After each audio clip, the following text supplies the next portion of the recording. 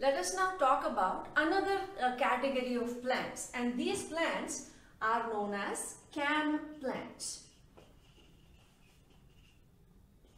This CAM stands for a type of metabolism.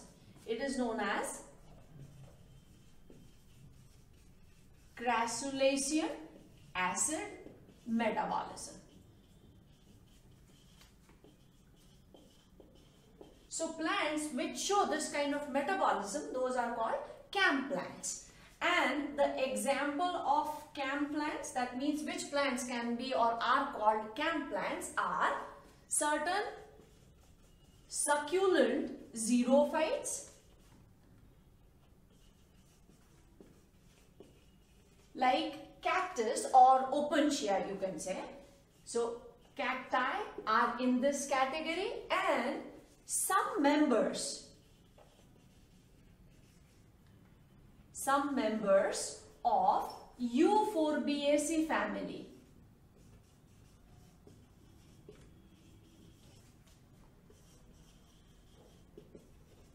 they are also uh, the plants which show the same kind of metabolism. Now we have seen C3 plants and C3 cycle in detail. We have also understood C4 plants and what adaptations they have uh, shown or they show to uh, overcome the problem of photorespiration. The plants which are growing in xeric condition, that is dry condition, they have another uh, big issue to deal with and that is loss of water due to transpiration. So the adaptation or modification which takes place in CAM plants is slightly different. What have they done is they have changed the time or timing of opening and closing of stomata. So there is a changed timing of opening and closing of stomata. Normal plants have stomata open during daytime and these stomata close during night. But in these CAM plants, stomata open during night and they close during day. So the timing is totally reverse of what is seen in the regular uh, plants. Such uh, stomata which remain open during night and close during day, they are called scotoactive stomata. This is a characteristic feature of uh, succulents or xerophytes we can say because during daytime if stomata remain open transpiration would take place. And as we just now said that xerophytes have a problem of water. They are growing in dry xeric condition. So they want to minimize this water loss so to avoid or minimize that transpiration the timing of stomatal opening and closure has been changed. So now what exactly happens in this pathway? How do they perform photosynthesis with this changed timing? The photosynthetic process takes place in mesophyll cells only. So it is same, location is same. And here the stomata are present. We are drawing it like on the surface but we know that in xerophytes the stomata are also sunken. That means if this is the epidermis, the stomata would be slightly on the deeper side. So they have sunken stomata. Sunken stomata. But here we are just drawing it on the surface because our main emphasis is the process by which this takes place. And this diagram which we are drawing is of mesophyll cell and we will see what is happening in mesophyll cell and as we have shown the stomata open that means this is taking place during night. So here stomata are open. When stomata are open transpiration is also taking place plus gaseous exchange is also taking place. So carbon dioxide diffuses in this carbon dioxide reacts with water molecule to form same carbonic acid. The enzyme which is going to help here this enzyme is going to be carbonic anhydrase and then this dissociates into H plus and HCO3 that is bicarbonate ions. This is same what was happening in case of C3 or C4 plant. So this is how carbon dioxide is accepted. The enzyme here is carbonic anhydrase. And this carbon dioxide which is in the form of bicarbonate ions is accepted by phosphoenol pyruvate. That means carboxylation of PEP is taking place. The enzyme which is going to help in this process is PEPCO, PEP carboxylase. And the first compound which is formed is oxaloacetic acid. So far, it is exactly same what was happening in C4 plants. This oxaloacetic acid gets reduced. That means there is reducing power NADPH2 which is required. It changes into NADP and malic acid is synthesized. So PEP is phospho enol pyruvate, oxaloacetic acid,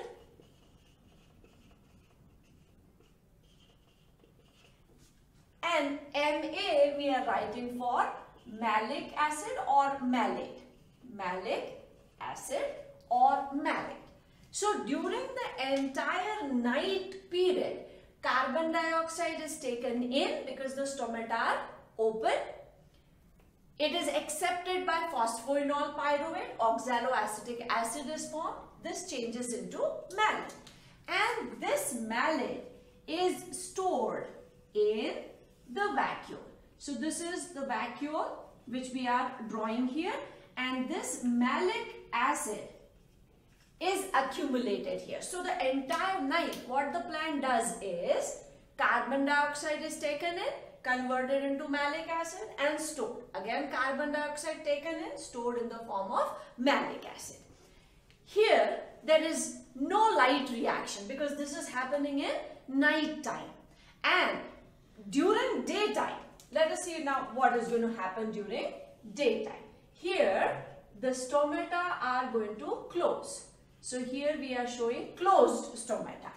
We can write here stomata are open and here stomata are closed. And if stomata are closed, there is no exchange. That means nothing is going to come in. And again, let us draw this mesophyll cell. And this is during daytime when stomata close the malic acid which was synthesized and stored. This is the vacuole. Malic acid which was stored diffuses out of the vacuole. This malic acid gets converted into phosphoenol pyruvate. Malic acid is a 4 carbon compound. Let us come back to what is happening during night time.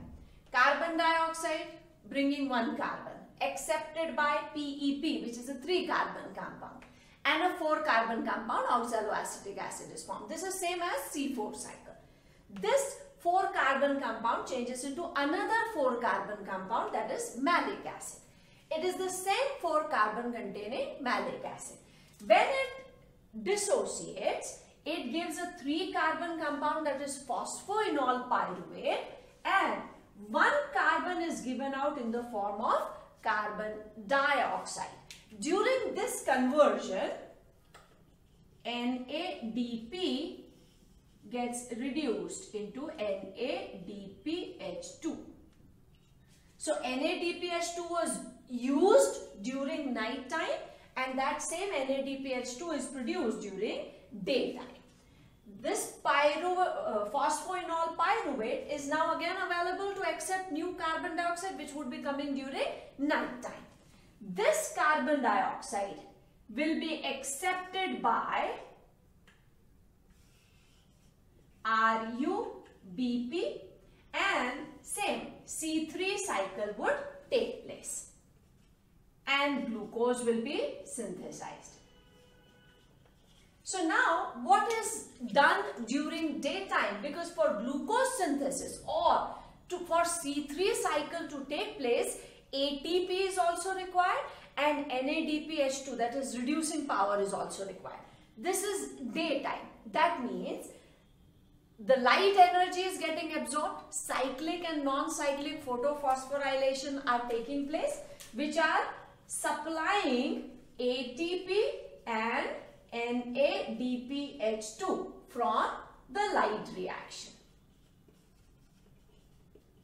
So this is supplied by the light reaction for this C3 cycle to take place. So modification or adaptation which is seen in CAM plants is the timing of opening and closing of stomata. And why they have shown this change? Because they grow in xeric condition which are extremely dry. Water availability is very very less.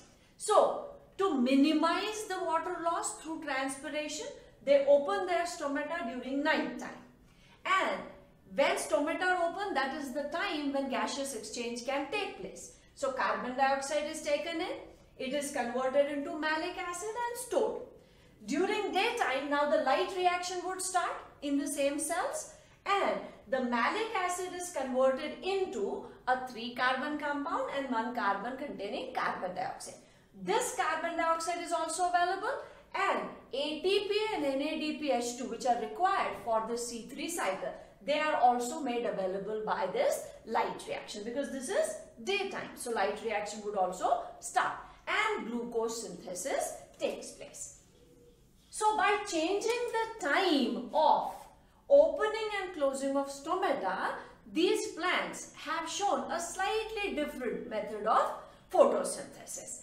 These are called, these are called CAM plants and this type of uh, photosynthesis is known as CAM plant photosynthesis or photosynthetic process which is seen in CAM plants. The most common examples are the succulent xerophytes like Opuntia, some members of uh, Euphorbiaceae family and the plants which are belonging to Crassulaceae family. They are also the members and that is why this metabolism has been given that name. So whether it is regular C3 plants or C4 plants or CAM plants. By showing different modifications or adaptations, the process of photosynthesis takes place and glucose is synthesized.